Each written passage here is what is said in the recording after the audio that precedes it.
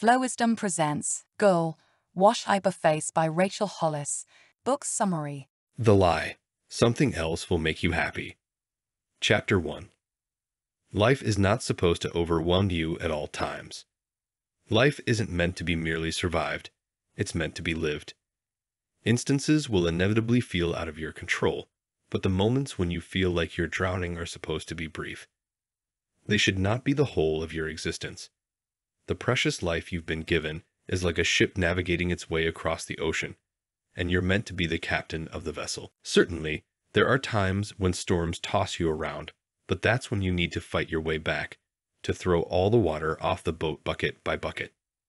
That's when you battle to get yourself back to the helm. This is your life. You are meant to be the hero of your own story. This doesn't mean you become selfish. This doesn't mean you discard your faith or quit believing in something greater than yourself. What it means is taking responsibility for your own life and your happiness.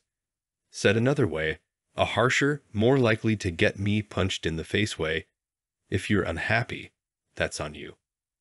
When you're engaged and involved and choosing to enjoy your own life, it doesn't matter where you are, or frankly, what negative things get hurled at you. You'll still find happiness because it's not about where you are, but who you are. How to feel happy. Stop comparing yourself. Stop comparing yourself with others. Comparison is the death of joy. You only need to be better than you were yesterday. Surround yourself with positivity. You become who you surround yourself with. You become what you consume. If you find yourself in a slump or feel as though you're living in a negative space, take a good hard look at who and what you see every day. Figure out what makes you happy and do those things. This seems like the most obvious idea in the world, but at the end of the day, very few people intentionally choose the things that bring them joy. Spend more time doing the things that feed your spirit. Remember, you are in charge of your life. The Lie. You will start tomorrow. Chapter 2 We talk about the things we'd like to do, be, try, and accomplish, but once we get to the moment of actually doing it, we end up missing that chance. Maybe we've created this habit because of the way we were brought up. Magazines and TV shows spend a lot of time focusing on what to do rather than teaching us how to stay on it in the first place. Life happens, and the plans we make fall through. But when it becomes such a regular occurrence that the promises we make hold very little actual power in our lives, we need to check ourselves. We promise ourselves that we will improve, but every now and then we end up breaking such promises. If you are regularly doing so, you're not making any progress. You're just talking. If you choose today not to break another promise to yourself, you won't just talk about a goal, you'll plan for how you can meet it. You'll set a goal and surprise yourself when you achieve it. You'll teach yourself a new way to behave and set a standard for the type of person you truly are, not the one you've dreamed of. How to keep your promises, starting with one small goal. If you are thinking of following a new habit, try to keep that small. Don't jump into spreading too thin. It's much easier to add a habit and to take one away, but the water goal is a challenge. Be careful with your commitments. We easily jump on board with anything that sounds tempting. Assuming the results will motivate us to pursue them, we commit to them. Unfortunately, that isn't always the case, and you end up breaking the commitment. So only commit to things you know you can complete.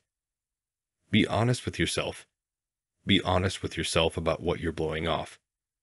If you take a good hard look at what you've canceled on in the last 30 days, you might be shocked to discover how you're training yourself to behave. The Lie. You are not good enough. Chapter 3 The author moves further with an example of her life. She was the youngest and a self-sufficient child, and she thought that the combo of these two things meant that she was largely ignored, unless she did something good. When she succeeded, she was praised and got attention. She felt liked and accepted. But the moment the audience stopped clapping, it all went back to square one. What this taught her as a child, and what she carried into adulthood, is the belief that to be loved, she needed to do something. Fast forward to her 30s, it was nearly impossible for her to sit still. The moment she achieved one goal, she immediately thought, okay, what next?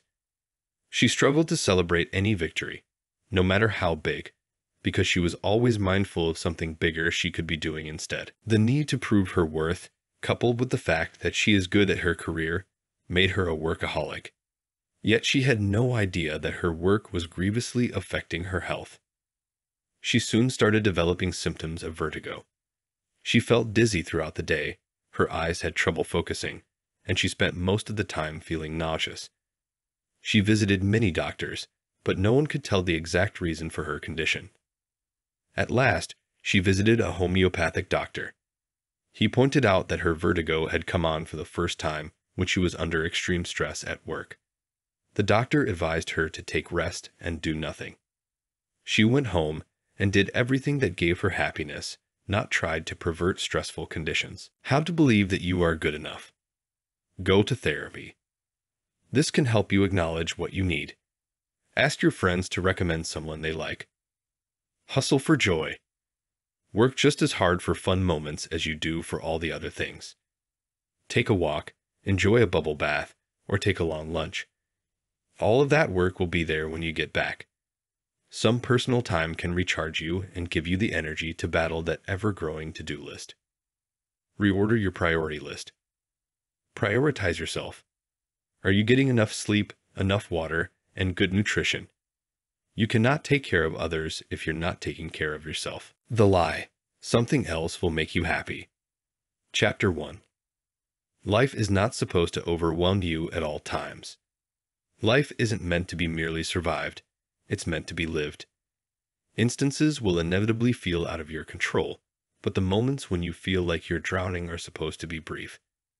They should not be the whole of your existence. The precious life you've been given is like a ship navigating its way across the ocean, and you're meant to be the captain of the vessel. The lie. You are better than someone else. Chapter 4 Before passing judgment on anyone, ask yourself why things might be this way. Judging is one of the most hurtful, spiteful impulses we own. Our judgment prohibits us from beautiful, life-affirming friendships. It keeps us from connecting in deeper and richer ways because we're stuck on the surface level assumptions which we have already made. How to stop judging people. Have non-judgmental friends. We become who we surround ourselves with. When you're looking for a community of women, look for the ones who want to build each other up instead of tear each other down. Police yourself.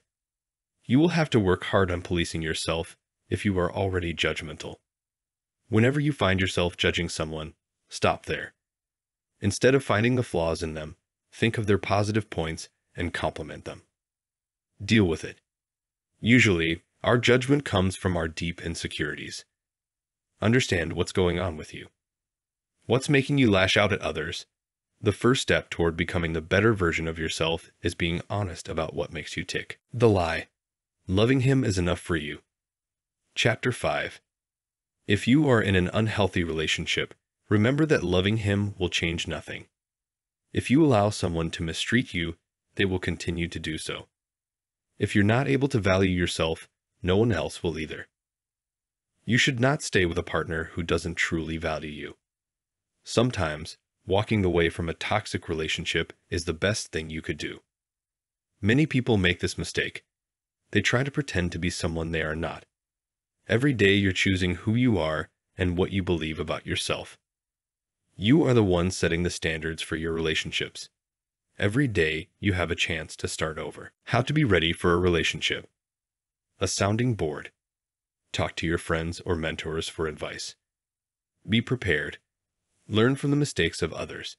Take advice from your parents and friends about your relationship. The lie. No is the final answer. Chapter 6 Do you know why some people are more successful than others? It's because when they went after their dreams and came up against a roadblock, when they experienced rejection, or when someone or something told them no, they did not stop. Successful people are successful because they refuse to take no for an answer. They became successful because they have never once believed that they could not pursue their dreams. When it comes to your dreams, no is not an answer. No is not a reason to stop. Instead, it tells you to slow down and reevaluate and then proceed. You should chase your dreams because if you won't do so, no one else will. You should not let your past dictate your future. Start today. You win the half battle by just starting. How not to get discouraged after being rejected. Audacity. It's audacious to ignore what other people are saying. This does not mean being disrespectful. You should just keep your eyes on your goal, regardless of what gets in your way. Alternate paths. Use the no to reevaluate the situation and pivot if required. Keep your goals in plain sight. It's easy to focus on your goals when you start, but it becomes harder and harder as you proceed. Make a note of your goal and keep it somewhere you could see it on a daily basis. This will serve as a reminder for you to keep pursuing your dreams. The lie. You don't know how to be a mom. Chapter 7. This chapter is for the new moms or soon to be mothers. Being a mother is hard. When you are pregnant, enduring mood swings, vomiting, and postpartum depression are difficult to deal with. At this point, someone might think, what if I don't turn out to be a good mother? Being the mother, you share a special bond with your child. This doesn't mean you're going to be a perfect fit and won't make mistakes. It means that you need not fear failure. You will be able to find a way to deal with any situation. You just need to take care of yourself and your baby. How to take care of yourself and your baby. Find a tribe. Join a church group, go to Mommy and Me Yoga, or look online for a club to join. Look for a group of women who understand what it means to be a new mom too. Get out of the house. The best thing you can do for yourself, your sanity, and your baby is to explore your surroundings. Try to leave the scene of crime every now and then to change your mood for the better. Talk to someone about your feelings. Whether you choose your spouse, your friend, or a trusted family member, sharing with them you're struggling with can give you the support you need to overcome all the falsities that are popping up in your life. The lie. You are not a good mom. Chapter 8. Being a perfect mom is a myth, but being a good mom is possible. There isn't any one best way of parenting. However, imposing your beliefs on your child could be damaging. Try not to do so. Every mom is different. You need to accept that these differences are what makes you unique. With your uniqueness, you're adding spice and texture and nuance into this big, beautiful soup of modern day parenting. How to believe that you are a good mom. Be friends with other moms. Make friends with the other moms your kids are comparing you to. Learn from them and leave those that do not strike authentic or practical for your family. Focus on quality. Don't stress about parenting. Instead, try to spend some quality time with your children. It doesn't necessarily mean going on vacations or buying them expensive gifts. Instead, it means including them in your everyday activities like cooking together, reading, playing, going on movie dates. When you focus your energy on them, that's when you feel content that you are doing a good job. The lie. You should be further along by now. Chapter 9. We all have our own goals, but when we cannot meet them as per the deadline, we sabotage ourselves. Our negative self-talk can be damaging to ourselves. It's also far more insidious because there's nobody there to stop it since we rarely even realize it's happening. Everything happens exactly when it is supposed to. Or maybe that goal wasn't ever meant to be yours. Maybe you are destined for something much cooler. Maybe you have to walk through this space you're in to be ready for that. Nothing is wasted. Every single moment is preparing you for the next. But whether you choose to see this time as something wonderful, the time when God is stretching you or forging you in fires hotter than you think you can withstand, all of it is shaping you to be the person you always desired to be. Today, there may be items on your to-do list, but you also have a long list of things you have achieved. Celebrate what you have achieved. Everything will come to you when it's the right time. It's highly possible that by not being where you thought you should be, you will end up exactly where you're meant to be. How to feel good after not achieving your goal. Make a list. Write down everything you've accomplished to date. When you force yourself to admit to all the things you have accomplished, you'll realize that it's wrong to be hard on yourself for all the things you haven't. Talk to someone. Talking to your well-wisher is always a great thing to do when you are feeling low. They will make you realize what you have achieved so far and what you are capable of achieving. Setting goals, No time limits. Having goals is one of the best things, but your dreams shouldn't have expiration dates. As long as you're working toward the things you hope to accomplish, it shouldn't matter if it takes a month or a decade. The lie. You need to make yourself smaller. Chapter 10. The author proceeds with an incident from her life.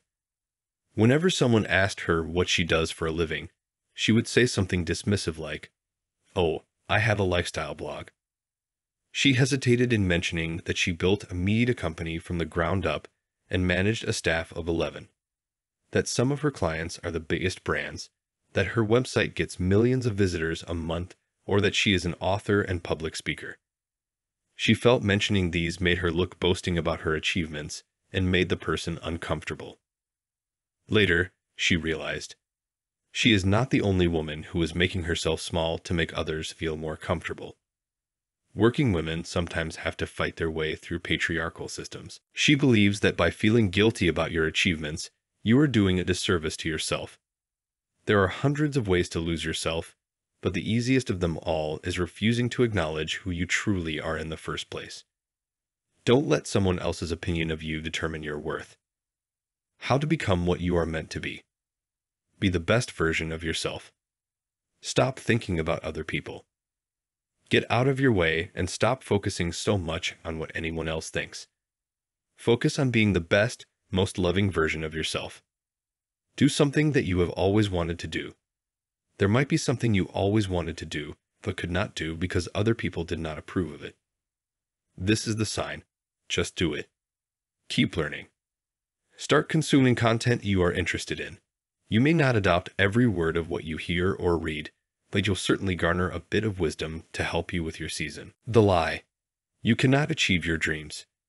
Chapter 11 We all fantasize about achieving our goals. Some fantasies are instrumental in helping us reach our goals. Some fantasies are silly, but they give us something to think about. One thing is true all of them hold value. Maybe you want to cure a rare disease or have dinner with Oprah. Maybe you want to discuss politics with Roosevelt or try on dresses with Edith Head. The point is, you don't think about the challenge before you, you keep your eyes above the waves. How to achieve your dream. Writing it down. When it comes to goal setting, you must write down everything. If you're dreaming of something, writing down the words will help you achieve them. Saying it aloud.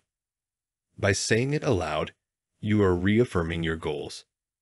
You are registering these goals in your subconscious. This helps you in getting to your goals faster. Creating a vision board. Make a note of your goal and put it on your work desk. This helps you transform your idea from an intangible form to a concrete one.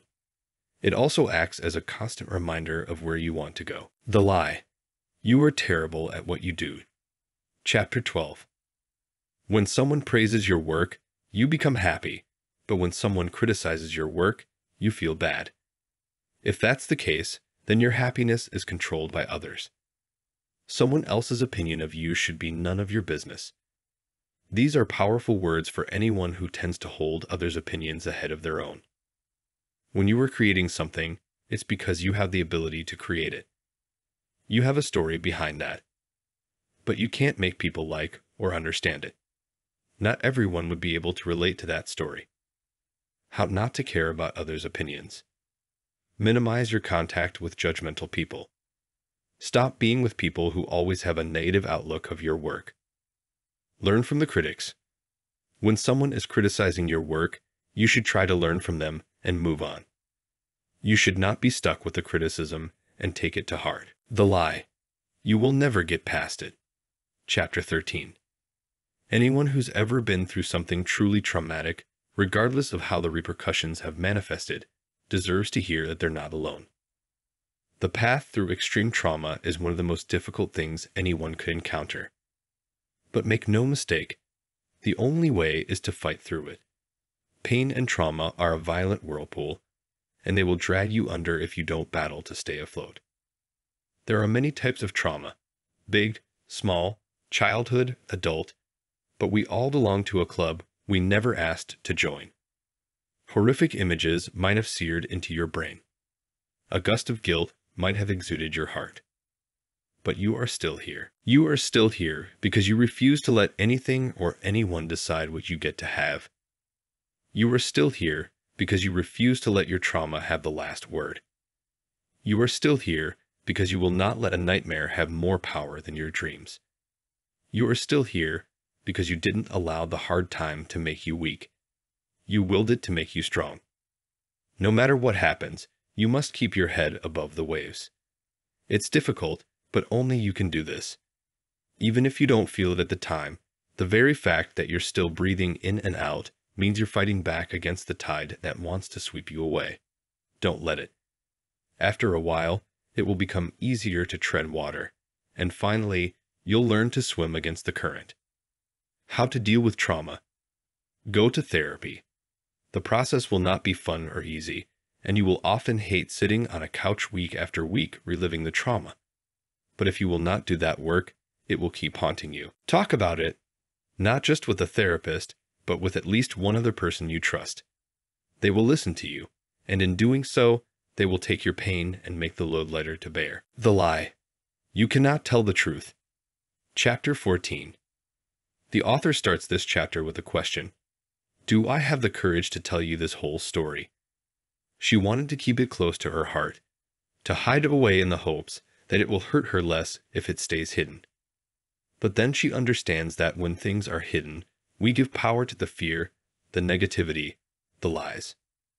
When she was pregnant with her son Ford, she decided that she wanted to adopt a little girl someday. She had been placed in the Ethiopian adoption program for two years. Toward the end of the second year, she received word that Ethiopia was pausing its adoption program, and her agency told her to consider moving to another country's program. So, she entered the foster to adopt program. She got a foster placement with a medically frail baby and that the department did not know her extreme medical need.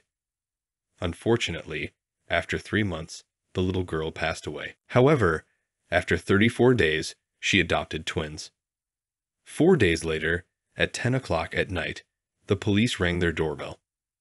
The officers informed her that someone had made an anonymous call to the child abuse hotline about her family for her previous foster care placement. As a result, twins were taken away from her. The lie. You are defined by your weight. Chapter 15. Who you are today is incredible. You have so many wonderful qualities to offer the world, and they are uniquely yours. It's not your weight that defines you, but the care and consideration you put into your body. Humans were not made to be out of shape and severely overweight. We function better mentally, emotionally, and physically when we take care of our bodies with nourishment, water, and exercise. You don't need to be thin. You don't need to be a certain size or shape. You need to be able to run without feeling like you're going to puke. You need to be able to walk up a flight of stairs without getting winded. You need to drink half your body weight in ounces of water every single day. You need to stretch and get good sleep and stop medicating every ache and pain. Learning to be healthy when you've never done it before might be hard if you've got a lifetime of habits to break, but the mechanics of it are very simple. And the version of you that's healthy and well cared for is worth every minute of that work. How to take care of your body. Use mantras. A lifetime of believing that your value, or lack thereof, is determined by your body is the result of a lifetime of negative talk in your head you need to replace that voice with something positive. So come up with a mantra and say it to yourself a thousand times a day until it becomes real. Edit your media. Unfollow the models on Instagram. Stop looking at those pages on Facebook. Surround yourself with uplifting role models who focus on being strong and healthy. It does not mean women who do makeup tutorials or Instagram fitness models are bad, but there are reasons when following them doesn't make sense. Be smart about it. Preparation. Do you want to make sure you get in a workout tomorrow? Then you need to pack your bag today and schedule exercise on your calendar. If you wait until the last minute, you are not likely to achieve anything. Do you want to accomplish a healthier life? Map out how you'll get there. The lie. You need a drink. Chapter 16. You don't need a drink. Need implies that something is essential, necessary. Without any alcohol, You will be alive, and the world would continue to spin on its axis. Drinking can be an attempt to escape, but you cannot escape the realities of your life forever. Having a drink will always be the easiest way out. It requires the least effort, but you get to pay an immense value. Have you seen strong people? They don't drink in their hard times because they're strong enough to manage on their own, and they know that drinking will probably make them weaker. You need to teach yourself better ways to handle stress and painful seasons. You'll have to learn and grow in a new area, which can feel discouraging if you've already walked through hard seasons in the past. But fighting through those times is how you get tougher. It's how you become the person you were meant to be. How to stop drinking. Learn about your habits. Identify what causes you to drink and replace it with a better coping mechanism. For instance, if you feel like drinking because of stress, try to catch up with a friend instead. Acknowledge your reality. Self awareness is one of the most important skills to gain in the world. Force yourself to realize what is going on with you. Admit that you are doing something wrong. Remove the temptation. If you're struggling with how much you drink, remove access to alcohol. Actual struggles run so much deeper than simply having access, but it's much easier to fall into those temptations if they're sitting right in front of you. The lie. There is the only right way to be. Chapter 17. Imagine that. A large group of people who are committed to doing a hard work together, joining in to simply cheer on a community. You can see the beauty in that, right? And that's not even the best part. The best part about this time together is the difference in everyone's interpretation of the beats. They all learned the same moves, but every person's dance looks different from everyone else's. The girl who grew up doing ballet has movements that are more fluid and graceful. The guy who knows how to breakdance rocks a style all his own. We're all practicing the same thing, but we do it in different ways. Our different styles are beautiful to behold. What if we don't presume to know the answers? What if we don't settle for the world we feel comfortable with, but push ourselves to seek more? It would mean that we would find genuine relationships with other people at a soul deep level. We do not need to change our entire belief system to make this a reality. We need to be in a wider community, not because we're attempting to sharpen their clarity on a subject, but because we're hoping to soften the edges of our hearts. What does your story look like? Is it filled with all the same colors and lines? Every day, you get to choose the way your world looks. Regardless of what you were taught to believe, you get to decide where your story goes from here. Every year, you close a chapter in your story. How to have a different story. Acknowledge your position. Look around you. How much diversity do you see? Are you surrounded by people who are exactly like you? If so, seek new friends and experiences. Change the places you visit. Visit different places and meet people of every color and style and background. The Lie. You need a hero. Chapter 18.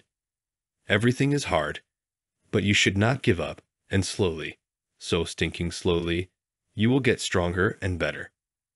Push yourself to do something you never thought you would be capable of, and it will light a fire within your soul. It is only you who can achieve your goals. Only you have the power to change your life. You've always had the power. You just have to stop waiting for someone else to do it for you. There is no easy way out of this. There is no life hack. Just you and your strength and your desire to change. You not need a hero because you are your hero. Get hold of your life. Stop drinking. Stop hiding out. Stop being afraid. Stop getting away pieces of yourself. Stop saying you can't do it. Stop the negative self talk. Stop abusing your body. Stop putting it off for tomorrow or Monday or next year. Stop crying about what happened and take control of what happens next. Get up right now. Rise from where you've been. Scrub away the tears and the pain of yesterday and start again. Girl, wash your face. This was released from For the Sake of Education by Flowisdom. If the content was helpful, make sure to subscribe.